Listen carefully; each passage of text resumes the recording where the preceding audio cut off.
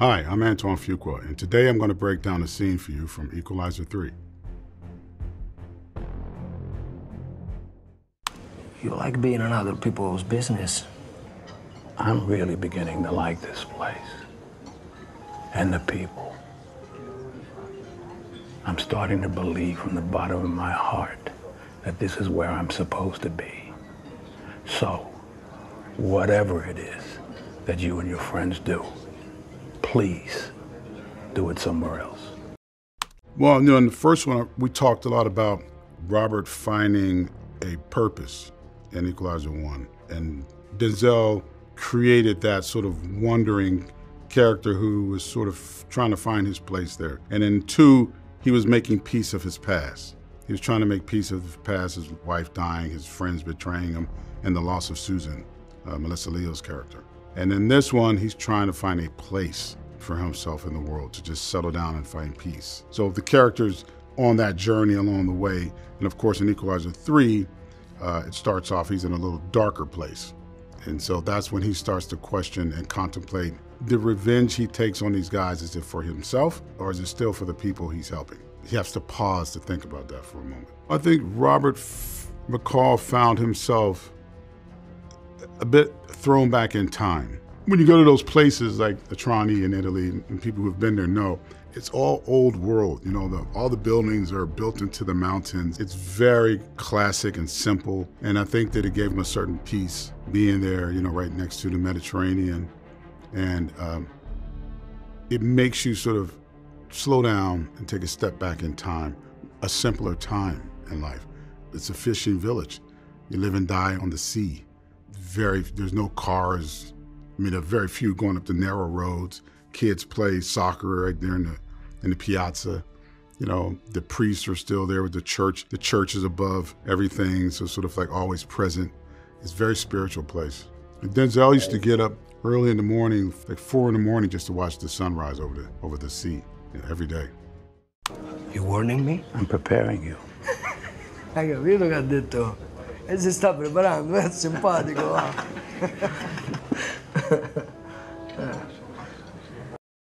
He's trying really, really hard not to get involved with the situation. So through that pain smile, you know, it's like I gave him a chance. you know, he's like, okay. He's sort of like the monster in him is coming out. You know, that's what that's about. He's like, I gave him a chance. Okay. So he's gonna show him what it's like to, you know, face a bully bigger than you, badder than you. You have to think about it like sharks in the water. If you're on the beach with your family and it's a beautiful day and the kids are all in the water and then a shark shows up, you know, restaurant scene, you got family, food, music playing, trying to have a nice meal, some vino, and then the bad guys come in, right? And all of a sudden the whole room sort of changes, the energy changes. It's not so safe in the water, it's not safe in the restaurant, right?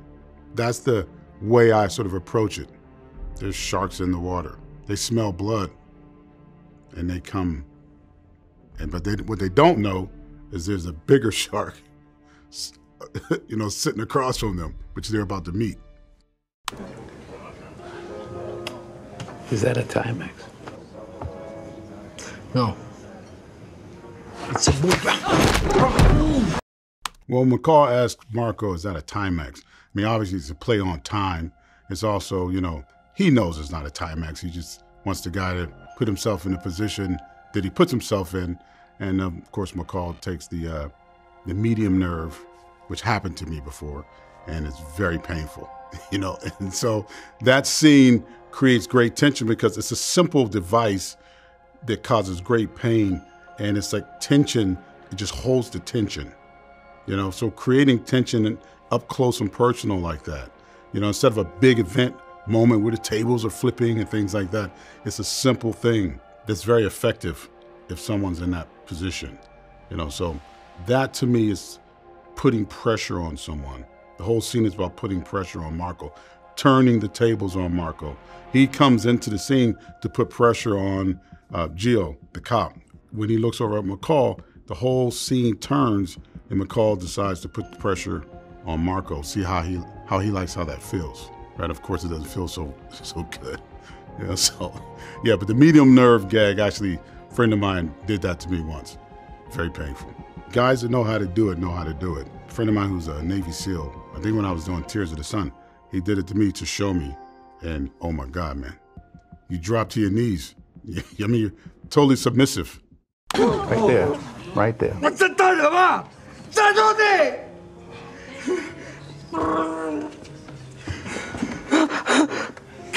The median nerve that I'm compressing. On a scale from 1 to 10, that's a 2. That's a 3. You don't want me to go to 4. I go to 4, you shit on yourself. You don't want that. I don't want that. They don't want that. Denzel works with the stunt guys and works with uh, Andreas, who played Marco. You know, we just kind of block it out and talk it through. And again, when I do an action scene, to me, it's like dialogue. So there's a, a dialogue back and forth between him and Marco. It's just physical. Right, so we block it that way. Denzel's totally committed. I mean, completely, totally committed. When he's on the set, he's that character. He's, you know, he does his homework long before he gets on the set. But he's an actor first. If you told Denzel you're a movie star, he doesn't want to hear that. He's an actor. That's why he does theater and things like that. It's like what makes Michael Jordan Michael Jordan? You know, what makes the greats great at anything? They're just totally committed. And then part of them, they're just special individuals. Some of them were born to do just that. And that Denzel's one of them. He has that presence. You have to have that presence. There's some actors that just have that gravitas, that presence. And that's what you get with Denzel. He's very intense. Even on the set when we're filming, he's very intense. So, you know, if you're another actor in front of Denzel, yeah, you know, you you better be ready. Tell your compadres that they can leave. Tell them to beat it. Vania! Vania! Ah! It's an actual restaurant in uh, on the Amalfi Coast uh, in Atrani. All those are real locations. Those are all, I think we had maybe two sets maybe on the stage, but those are all locations. That's in Rome, Amalfi Coast, and Atrani, which is the town we use, and Naples. This one is more of a, I like to say, a working man's hero, a common person's hero. He's not fancy in any way. Everything in it is doable if you know how to do it, you know, if that's what you do for a living. There's very little fanfare in the action. It's more up close and personal and brutal in a very real way. And I think that's what separates the equalizer, that it's, uh, he's a common guy and he doesn't do it for any glory or fame. You, you know, he's the guy next door. I hope each film I get better. You know, certainly each film I grow and learn some things about myself as a filmmaker, as a person. I know for sure I want to make a film without violence next. You know, uh, I've learned, I'm getting older now, I have children, so you, you, start to see the world a little different. It's fun to do, it's exciting for the audience, but, you know, I think I've, um, I'm ready for another chapter.